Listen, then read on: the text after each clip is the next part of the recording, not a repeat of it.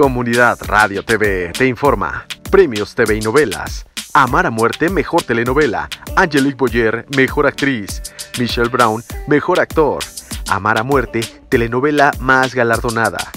Amar a muerte fue galardonada con el reconocimiento a la mejor telenovela en la entrega de los Premios TV y Novelas 2019. En el marco de la entrega de la premiación, Verónica Castro recibió un reconocimiento especial por su trayectoria artística. La conducción de los premios TV y Novelas 2019 estuvo a cargo de Montserrat Oliver y Arad de la Torre. El evento contó con la presencia musical de Gloria Trevi, Maite Perroni, Los Ángeles Azules y Carlos Rivera.